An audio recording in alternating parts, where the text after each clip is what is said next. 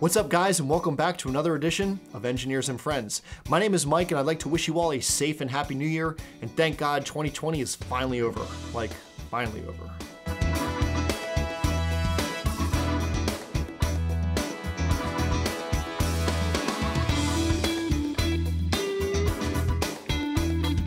So today, we're discussing recording an acoustic performance live. If you're an engineer and have been asked to leave the comfort of your studio to record a live performance while instead of a film shoot, or to hi-fi record an artist in concert, or someone just wants you to give them a studio quality live version of their song, this video is for you. We'll cover what gear I use and how to mix and master a final product to sound something like this.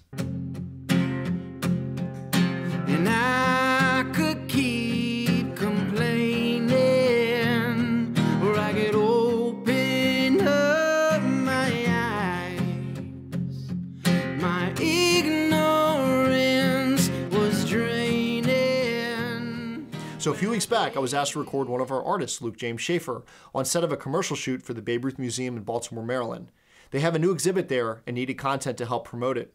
I'm going to take you through what process I use to provide a studio level recording from this untreated live environment.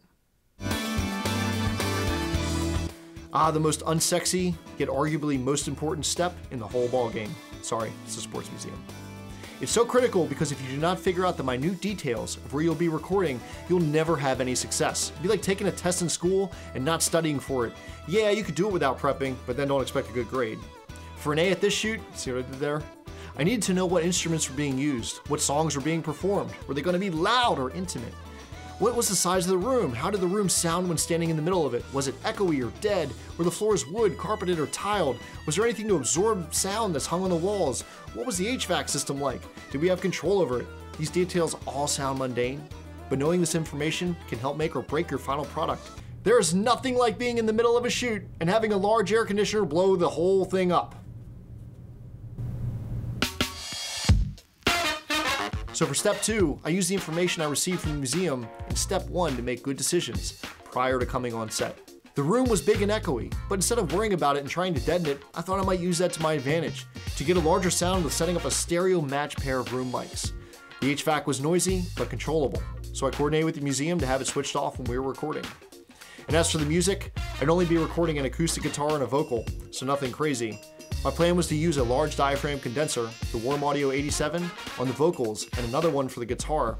I'd use a pair of my favorite mics, they're like my favorite ever, the Neumann KM 184s to capture the echoey wooden sound of the room. And to capture all of this, I'd be using a Zoom F6 with its clean preamps to ensure a high quality pre-mix recording.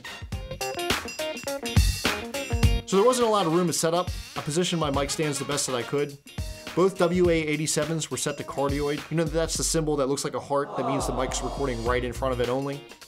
One was positioned about 8 inches from the performer's mouth, the other was about equally distant from the guitar and facing directly at the notch where the guitar's neck meets the body. Note, I did not place the microphone in front of the guitar's sound hole, which would sound way too boomy. And that's all that would be seen on camera, but the real magic would come from the room mics, which would be mixed into taste later.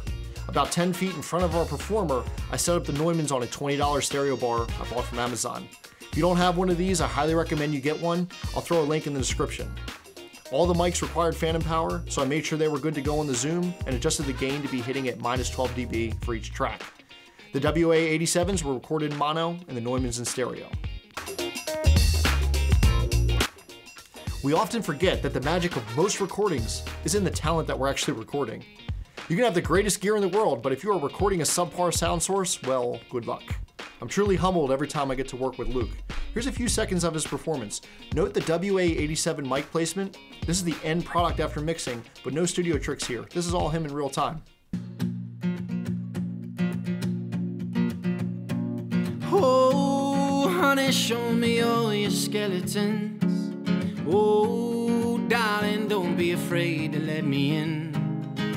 We'll stick together now, doesn't matter where we've been.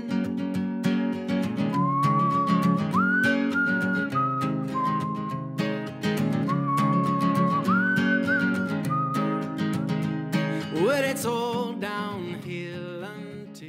And everybody's favorite, mix down. After breakdown and a number of whiskeys with the talent and crew, I pulled my SD card and uploaded the files into Logic. Here's a quick look into how this project was mixed. Okay, so what you're looking at is the actual files that have been dumped into a Logic session, and this is the session I used to mix.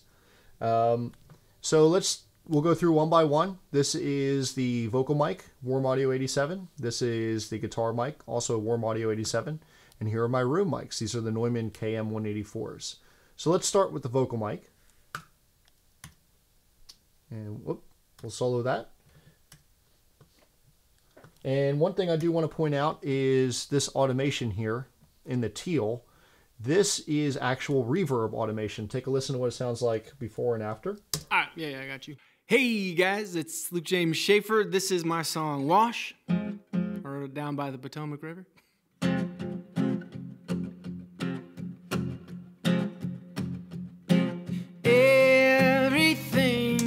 Now the reason why I do that is because nobody talks and hear and sounds like they're in a train tunnel unless they're in a train tunnel. It makes sense for the song, but not when he's just speaking on his own, and that's why I think it's critical to automate your reverbs off uh, when someone is speaking. There's no reverb on the rooms. That's why you don't see any um, verb automation there. The yellow here is volume automation.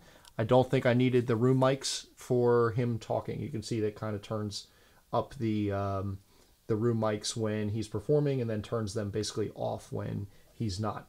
Okay, so what I'm going to do now is take you actually into how I mix this. I'm going to open up um, the Vocal Mics plugins. So we have an EQ first in our chain just with a um, a high pass or low low cut, whatever you like to call it. And I basically just took this, um, sweep this until it started making a difference in the tone of the, the piece. So let's take a listen. All right, yeah, yeah, I got you. Actually, uh, do it to. Uh... Let's actually call, move this up a little bit so you can actually just hear. Everything is changing. Oh, does it feel good? My thoughts are rearranging like a So what you heard there was it started to affect the tonal quality of everything. Um, so when when I reached around right under 200 here, so then I backed it off until right about at 125. That's where it's not audible, and I cut everything below it. And if you notice, the sound comes just a hair more under control. Um, this 675 hertz, this little cut here was just an annoyance. There was some sort of frequency that was pinging me, so I moved it down there. I cut some of the higher mids or higher low mids, if you will, um, just to get rid of a little bit of the the boomy nature of the mic. And then his vocals really shine at around 2K. So um, at 2140, I just gave it a little bit of a bump. Lastly, or sorry, secondly, is I used uh, Universal Audio's distressor on this one.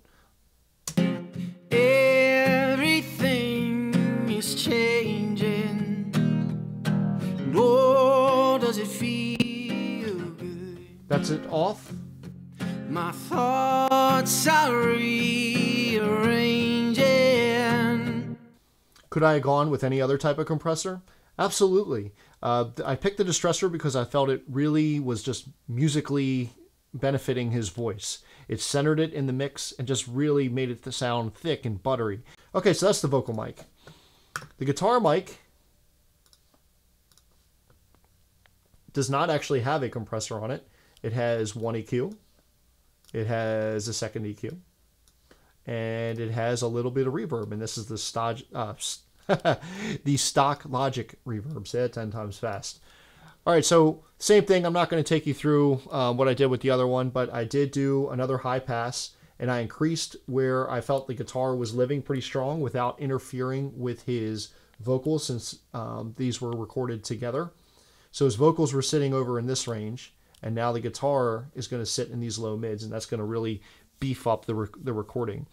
Um, I didn't think this quite did it, and so I did add a second EQ. I could have used another stock Logic EQ, but I decided to go with the Fab filter here, and I cut everything below 100 because I didn't think any information below there was uh, useful. I cut exactly kind of where I cut before with Logic's compressor. Um, this is just a little bit higher, and then I bumped again. Um, now this I bumped up in a little bit into this range just because I wasn't getting the shimmer that I wanted. Uh, but notice these are very small moves. And this just kind of gave me a finishing touch over this initial pass. Um, if you watch my other videos, especially like on how to mix or EQ vocals, you like to, you know that I like to use usually two EQs on most instruments. One, my first one being this Logic one is kind of like my broad brush, and then I get a little bit more surgical on my second. Okay, so those are my EQs. And then my favorite guitar reverb is the stock Logic reverb. Um, it's in their, their space reverb. So if you go to, I'll just show you real quick. I'll open up another one. You go to reverb, space designer, stereo. And then I go into my settings, large space, halls, and then guitar large hall. And so that's the same thing as this one. And I'll, I'll play it for you with and without real quick. This is just the guitar mic. Everything is changing. Oh, does it feel good? My thoughts are So notice the just the small amount of tail that it has. Now keep in mind that I have Valhalla on the uh, his vocal track, and so combined that's going to provide a nice, nice thick reverb um, with some really nice decay. And the reason why I use two different two different reverbs is to help with the imaging of the song. It just makes it sound bigger, wider when things are not happening exactly the same. All right. Lastly, my favorite mics, the Neumanns. So I'll show you what I did here as well.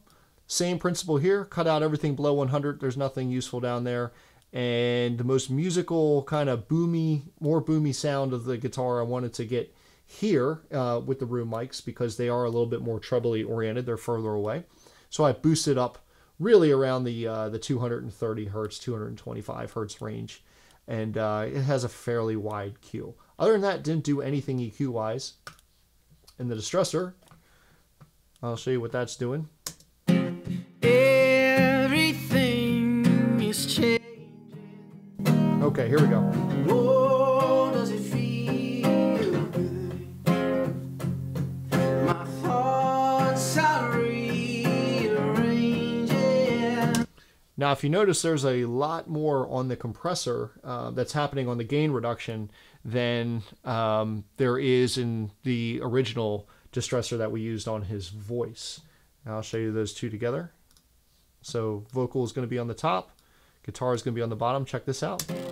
Everything is changing. Oh, does it feel? Now, the reason why I wanted to do that was I wanted to beef the room sounds up just a little bit more and give them that that compressory kind of feel, and that's where the studio um, sound is really going to occur. It's really, really subtle. It's mixed to taste. Notice that it's at um, how low it is compared to my um, my vocal mics and my guitar mic. You can see where its fader is. Now, generally, I like to not have faders down here. I would normally put a gain uh, plug in here and then keep all my faders where their most high resolution is like right around here. But for this, uh, this was kind of a quick pass. I had to get this out, and I thought it was sounding good where it was, so I just left it. So that's how I mix the individual tracks. The only thing we haven't discussed and where kind of the magic really is happening now is in the mastering chain, which I, I put right on my two bus here or mix bus. And let's talk about that now. If you notice that my master fader is down, that's just because my screen recordings get like super distorted when it's um, when it's up. So that's just for this video. Okay, so I'll, I'll take you through each plugin as we go. Let's do the first two. All right, so what this is is this is a tape emulator. It's a Slate Digital tape emulator, and all that's doing is adding a little bit of analog warmth warmth to the sound. Everything is changing. Oh, does it feel good? It adds just a little bit of edge to um, to the song, a little bit of that analog warmth that takes out some of the digitally uh, or digital nature of the song. Second, I have a console emulator. This is a, another Slate plugin. I highly recommend Slate plugins. They're they're really really good. You can literally lease them from Slate Digital for like thirty dollars a month to get their entire collection, and it's totally worth it. Okay, so all this is is basically um, mimicking an SSL, and here you can hear it with it on and off. It's extremely subtle. Here we go.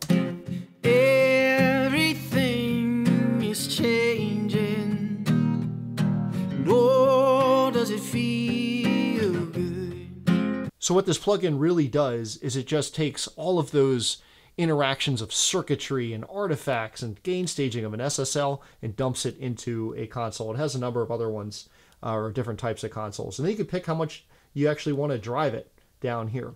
So those are my first two plugins. So third in my chain is my mastering compressor. This is made by Plugin Alliance. It's the Shadow Hills mastering compressor. Love this thing. I always just put it on mastering medium and uh, sometimes mastering discrete, but it just check it out what it does. Everything is changing. Oh, does it feel good? My thoughts are re- Sounds great. Next up in the list is just basically a pass through. This is also made by Slate Digital, and this is like a mastering uh, mix rack for them. But I just find that audio sounds incredible through it.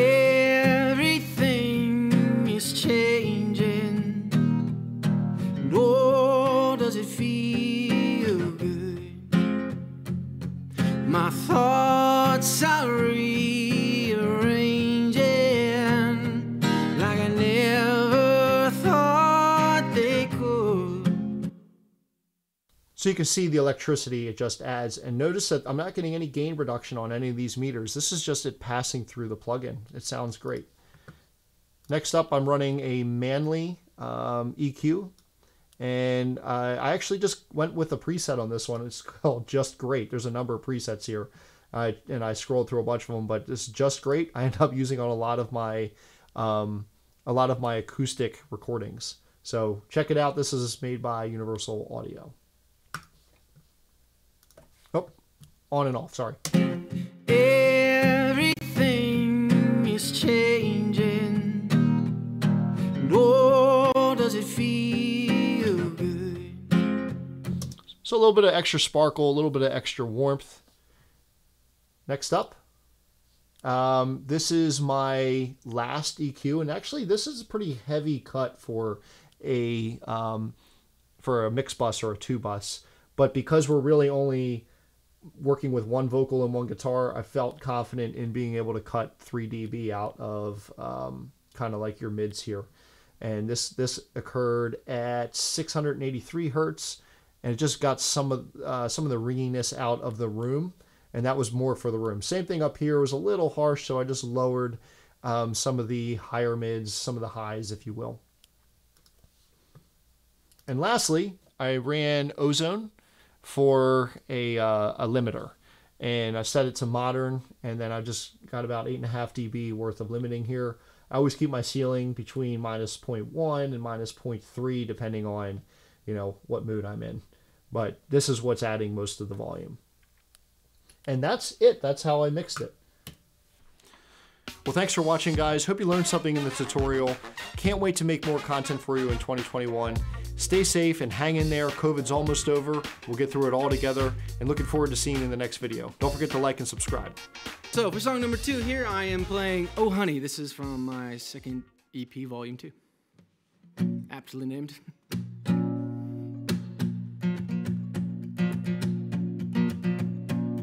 Oh, honey, show me all your skeletons. Oh, darling, don't be afraid to let me in. We'll stick together now, doesn't matter where we've been.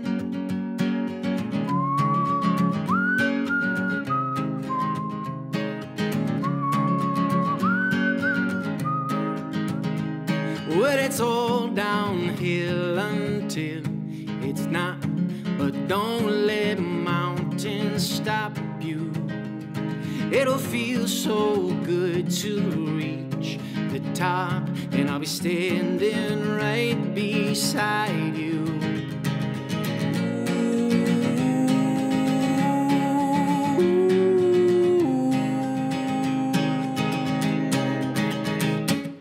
Oh, honey, hold me close and hold me tight.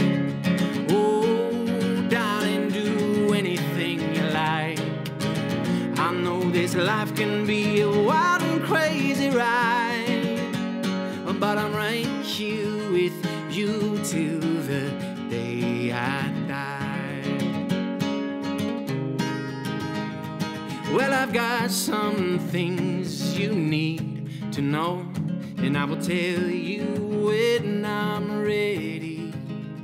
Because we've all got issues of our own, but we can try and keep each other steady.